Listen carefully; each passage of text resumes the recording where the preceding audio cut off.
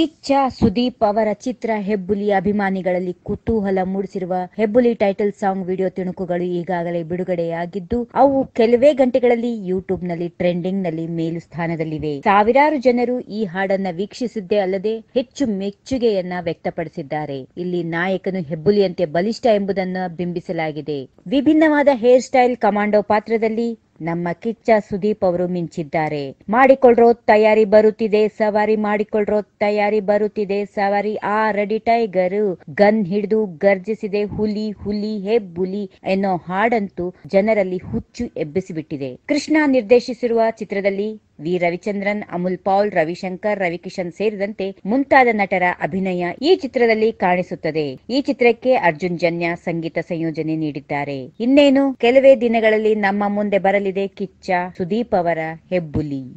If you like this video ಬೇಗ like ಮಾಡಿ comment ಮಾಡಿ ಶೇರ್ ಮಾಡಿ ಹಾಗೂ ಯೋಯೋ ಟಿವಿ ಕನ್ನಡವನ್ನು ಸಬ್ಸ್ಕ್ರೈಬ್ ಮಾಡಿ.